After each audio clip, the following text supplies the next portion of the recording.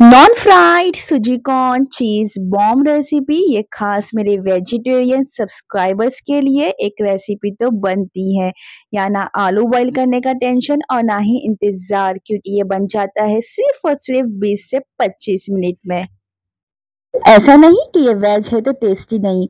जी हाँ ये बहुत ही टेस्टी रेडी होते हैं और वो भी कम ऑयल में। नाउ लेट्स गेट स्टार्ट सबसे पहले हम इंग्रेडिएंट देख लेंगे।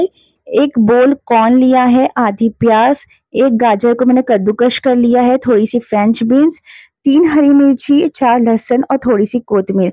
अब हम कॉर्न हरी मिर्ची, लहसुन और फ्रेंच बीन्स को चॉप कर लेंगे। आज चाहे तो ग्राइंडर का यूज़ कर सकते हैं, लेकिन चॉप करना है क्रश करना है हमें। ज़्यादा बारीक नहीं करना है। हमने चॉपर में सभी को एक साथ डाल दिया और इस तरीके से कर लिए। ना ज़्यादा बारीक, ना मोटा। कोस टाइप रखेंगे। अब हम एक बोल में ट्रांसफ़र कर देंगे, जिसमें हमें बनाना है। ये ग्रेट क्या हुआ? गाजर है। ये भी ऐड कर देंगे। वन बोल रोस्टेड सूजी है ये। एक बोल पूरी चले जाएगी। इसके अंदर जितना कॉर्न है, उतनी ही जाएँगी सूजी ताकि एक बाइंडिंग बने। अब मसाले डाल देंगे वन टीस्पून नमक, one teaspoon black pepper powder one teaspoon जीरा powder one teaspoon oregano one teaspoon turmeric powder उसको अच्छे से मिक्स कर लेंगे। पकड़ पकड़ के मिक्स करेंगे। इसमें पानी नहीं जाएगा तो ये कौन अपना पानी आसानी से छोड़ देगा। उसको पकड़ पकड़ के हम ऐसा मिक्स कर लेंगे।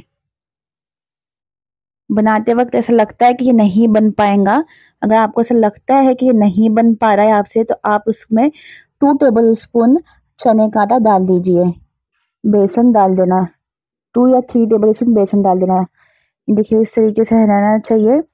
दस मिनट हम रेस्ट करेंगे ना तो ये अपने आप सेट हो जाता है। दस मिनट के लिए हम ऐसे छोड़ देंगे तो अपने आप सेट हो जाएगा। पानी अपने आप कॉर्न का छूट जाएगा। दस मिनट बाद हम इसको बॉल बना लेंगे। अगर आपका नहीं बने तो आप टू टेबल स्पून बेसन डालना, मुझे ज़रूरत नहीं पड़ी थी। मैंने अब इसके अंदर चीज़ रखा, बीच में फिर फ्लैट कबाब जैसा बनाएँगे। अब चीज़ अंदर रखेंगे और उसके बाद राउंड शेप का बना लेंगे। चीज़ मैंने यहाँ पे स्लाइस लिया है, उसको फोल्ड करके डाल दिया है हाफ़ आप चाहे तो छोटे बॉल्स भी थोड़े बना सकते हो। बीच में चीज़ रखेंगे सेंटर में, उसके बाद सबको क्लोज कर देंगे। हाँ अच्छे से बंद करना है, वरना फ्राई करते वक्त चीज़ बाहर निकल जाता है तो इस बात का ध्यान रखे। इसलिए कम डाले चीज़। इसी तरह हम सारे बॉल्स बना लेंगे। ये बहुत क्विक बन जाता है, सिर्फ़ 20 या 25 मिनट लगता है इसको बस। देखिए रेडी हो गया है।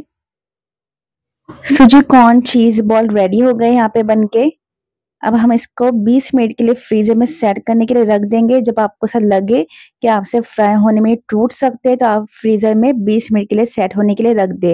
या फिर आपके पास अपम पैन हो ना तो फ्रीज करने की भी ज़रूरत नहीं पड़ेगी, क्योंकि वो बहुत ही इजीली फ्राई हो जाते हैं वो पैन में।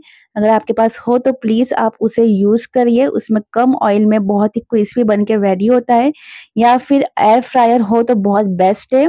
180 डिग्री पे हम 10 मिनट के लिए बॉल्स को रख देंगे। एयर फ्रायर में तो बिना ऑयल के फ्राई हो जाएँगे। ये वो भी क्रिस्पी रेडी बन के हो जाएँगे। 10 से 15 मिनट हम एयर फ्रायर में रख देंगे। या फिर अपन पैन या फिर ये पैन बीच बीच में हम साइड चेंज कर देंगे।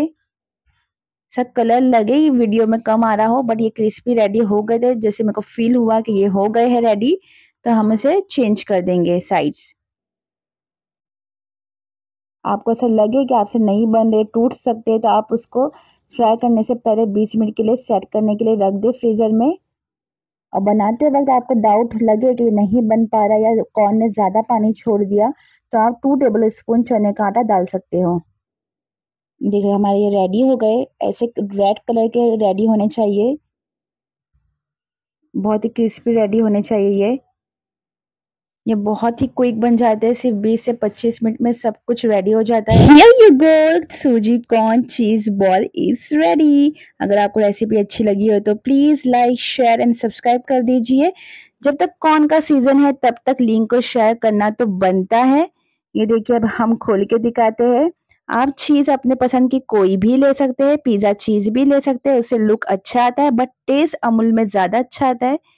ये देखिए हमारी चीज़ कितने अच्छे से मेल्ट हो गई है, कितना टेम्पटिंग लग रहा है ये चीज़ बॉल बहुत ही रेडी हो जाते हैं ये। तब तक के लिए बाय बाय टेक केयर मिलते हैं नेक्स्ट अच्छी सी वीडियो में। नए हो तो सब्सक्राइब करना ना भूलिए और बेल आइकन पर प्रेस कर दीजिए। Bye bye